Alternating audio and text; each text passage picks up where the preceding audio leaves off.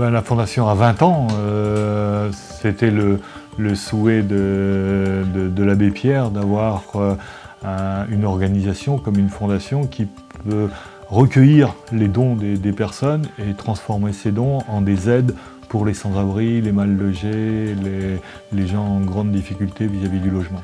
Et puis on a depuis six ans maintenant créé un comité d'amis et de parrains. Quand, l'abbé Pierre sentait que c'était la fin, euh, on a proposé à l'abbé Pierre d'avoir des, amis et parrains, des gens du, monde du sport, des, médias, de la chanson. Euh,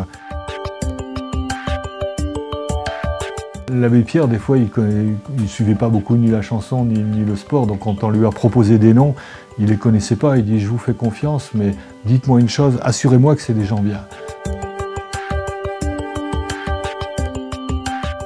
D'abord, j'ai trouvé l'idée géniale, de, le concept de, mettre des, micro-photos sur un maillot. C'est ce qui rapproche le, le spectateur, le supporter de, son joueur favori ou de son équipe favorite. Donc j'ai trouvé l'idée assez géniale euh, et, le fait que de ne pas écarter dans, cette opération euh, la possibilité de faire aussi une action de solidarité envers des, plus démunis.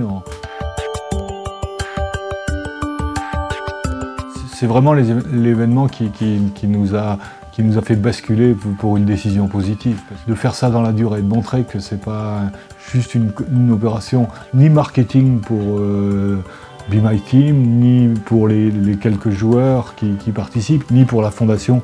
Moi, je prends déjà des dates avec les, joueurs, les 4-5, pour, euh, pour continuer ça et qu'ils viennent faire ça, en plus dans des lieux où, où la fondation est implantée. Je sais que c'est quelqu'un de bien.